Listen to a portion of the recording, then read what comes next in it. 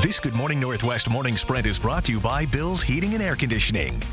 It's 6.53, time to get you ready to take on your Friday with the morning sprints. Mark has your weekend forecast just ahead. Sydney Charles has the latest details in the Kansas City parade shooting. And Allison Martinez is live and set up for this week's Great Outdoors and Bike Expo with some special friends. Yeah, but we want to get right to the breaking news. Russian politician Alexei Navalny has died in prison. Navalny is a longtime Russian opposition politician and critic of Vladimir Putin. He was imprisoned in uh, 2021, then sentenced to nine additional years in 2022, convicted of embezzlement and contempt of court. The prison service says Navalny fell ill after a walk and almost immediately lost consciousness. As we take a look at what you're going to see when you head out the door, well, plenty of sunshine, but you're also going to see very cold temperatures. We're sitting at 18 in Deer Park, Spokane Valley, 17 in Cheney.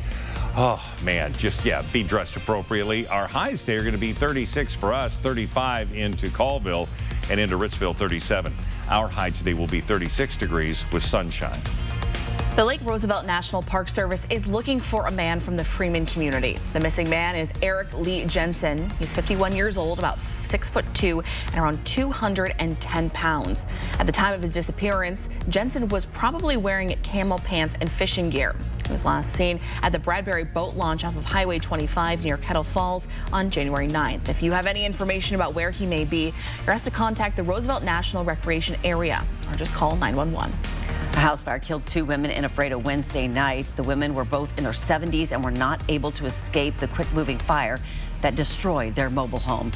The cause hasn't been pinpointed yet, but the investigation is focused on space heaters and smoke detectors. New developments on what led up to a shooting at a rally for the Kansas City Chiefs. This morning, authorities say the deadly shooting at the end of the victory parade on Wednesday started as a personal dispute that exploded into violence. We also know that two teenagers are in custody. Police determined that a third person who had been detained in connection to the shooting was not involved.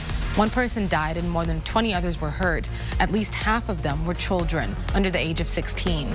The latest in the ongoing investigation is coming up next on Good Morning America.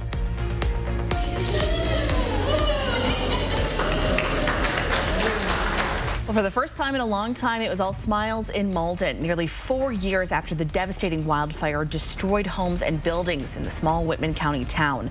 The first public building has now been rebuilt. We'll take a look at this at Malden's brand new municipal building. This will be home to the town's fire station, post office, and town hall, all of which were lost in the 2020 fire.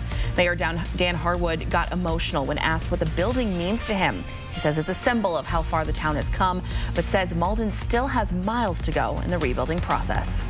In special elections across Washington Tuesday, voters rejected bond measures that would build and renovate public schools.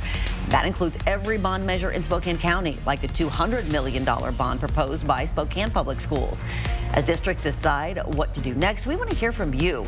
If you voted against a bond measure for your district, why? And what was different this time compared to proposed bond measures in the past?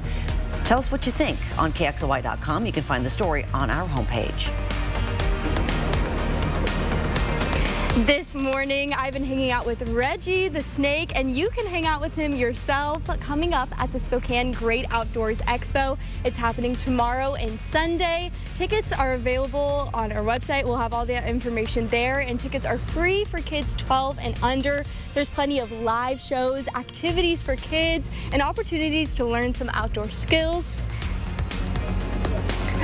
We'll say goodbye to one of the seven Starbucks in Spokane Valley. The location on East Sprague near Costco is permanently closed. A spokesperson says the company continually evaluates and the business to ensure a healthy store portfolio, but didn't say anything else about the store closing. Idaho Fish and Game says there's a nationwide decline in some moose populations. A woman in Post Falls wants to create a moose sanctuary to keep them safe. Kathy Vetta is no stranger to moose visiting her yard. One baby moose, who she's named Owen, inspired her sanctuary idea. She says with the growth of new development in the area, she feels like the moose are being pushed out. She recently purchased 10 acres in Harrison, hopes to make it a moose sanctuary, which she will call Owens Acres. You can read more about her plans on KXLY.com. There are some dangers to moose that you can help eliminate, like this yew plant. This is a photo of it right here. These are toxic not only to moose, but animals in general. Fish and Game encourages you not to purchase the plant. Weather next.